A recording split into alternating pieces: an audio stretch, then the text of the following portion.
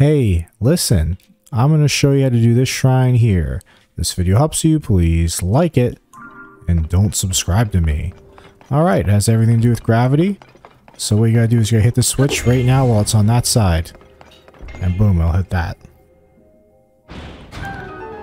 Nice. Alright, while the ball is out of the way, you're to want to go ahead and get on the switch as well. Get on this thing. There we go. Nice. Whoa, gravity really screws you up. Nice. Okay. So now we need to get on this one. Oh, so close. Alright. Whoa. There we go. Stand on top of it. I think it just shoots you further if you're just on it.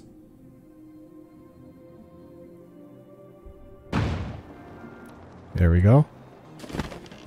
Now we want to wait by this switch for the next ball to come.